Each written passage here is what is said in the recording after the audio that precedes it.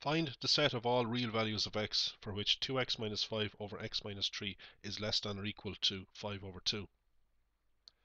Now, with this type of inequality, what you should do is get it into a straight line by getting rid of this denominator, getting rid of x minus 3. Now, we could do that by multiplying both sides by x minus 3, but the problem with that is that x minus 3 could be positive or negative, depending on what x is.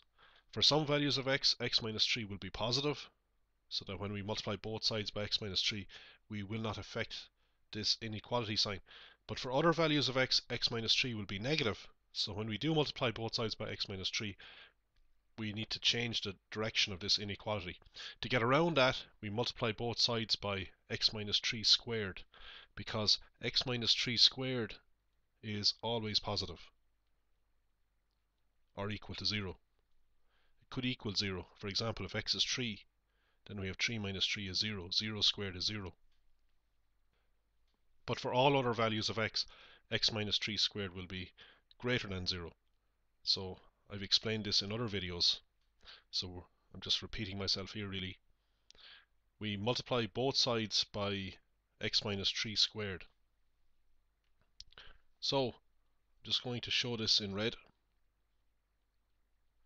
And we do the same on the other side, of course. And we do not affect the direction of this inequality. This inequality will remain less than because we're multiplying both sides by something positive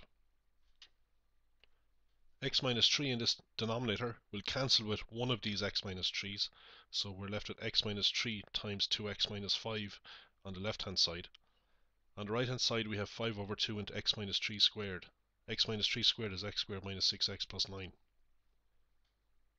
We can see that we're going to end up with a quadratic inequality. We have an x squared term on the left hand side and an x squared term on the right hand side. So x squared comes into this, it's a quadratic inequality. We get it into the standard form of a quadratic inequality, which means we want 0 on one side. Multiplying out the left hand side, we get 2x squared minus 11x plus 15. What I've also done here is multiplied both sides of this inequality by 2. Now 2 is a positive number, so we don't affect the direction of this inequality. Why do we multiply by 2? Well, we want to cancel this 2 here. So we multiply the left hand side by 2. When we multiply the right hand side by 2, the 2's cancel. So we have a 2 here on the left hand side. And we have 5 into x squared minus 6x plus 9 on the right hand side. So on the right hand side we get 5x squared minus 30x plus 5 9s are 45. So we I'm going to put 0 on the right hand side. So everything on the right hand side is going to be brought over. So in here we get plus 4x squared minus 5x squared. That's minus 1x squared. We get minus 22x plus 30x. Um, that's plus 8x. And we have plus 30 and then we have the minus 45. That's minus 15 less than or equal to 0. So all I've done is taken this here and subtracted it from both sides. So we get in, we can get our inequality into the standard form of a quadratic inequality. We want 0 on one side. Now normally we don't like a negative x squared term. It's easier to solve if we just make everything positive. So we multiply all this by minus 1. So we get x squared minus 8x plus 15 minus 1 times 0 is 0. But since we're multiplying both sides by minus 1, minus 1 is a negative number, we change this direction from less than or equal to to greater than or equal to. So we multiply both sides by minus 1. It's just more convenient to have the x squared term positive. I've covered how to solve quadratic inequalities in other videos. What we do is look at the equation y equals x squared minus 8x plus 15 or well we, we will be considering the graph of this function. But we just solved the equation x squared minus 8x plus 15 equals 0 we just take the equal part the equals part of this inequality. So we solve this quadratic equation and uh, the solutions of this quadratic equation will help us get the solutions of the quadratic inequality. Fortunately, this quadratic equation has factors x minus 5 times x minus 3, put each factor equal to 0, we get solutions x equals 5 or x equals 3.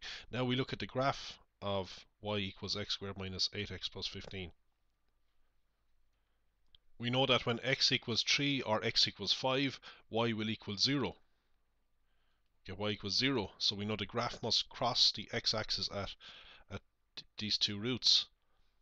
We also know that the graph uh, has the shape of a parabola because it's a quadratic so we're dealing with either an upright parabola or an inverted parabola. We know it's an upright parabola because the x squared term is positive.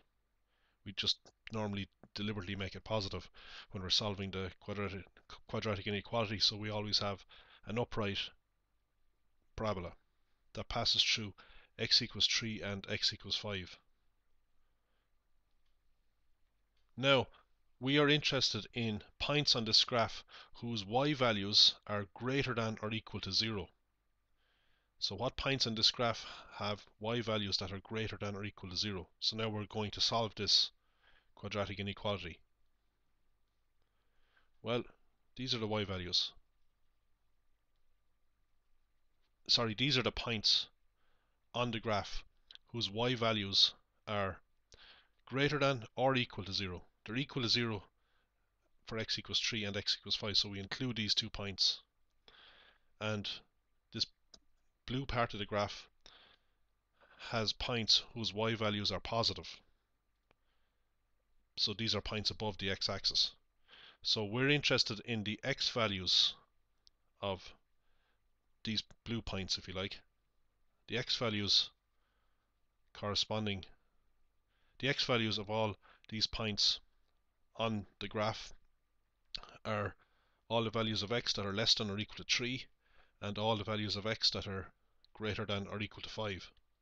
So when x is less than or equal to 3, y will be greater than or equal to 0.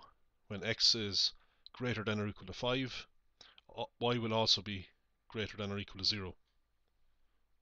So these two regions satisfy our original inequality. So as long as x is less than or equal to 3, then 2x minus 5 over x minus 3 will be less than or equal to 5 halves. And if x is greater than or equal to 5, then 2x minus 5 over x minus 3 will be less than or equal to 5 over 2. If x lies between 3 and 5, then 2x minus 5 over x minus 3 will actually be greater than 5 halves.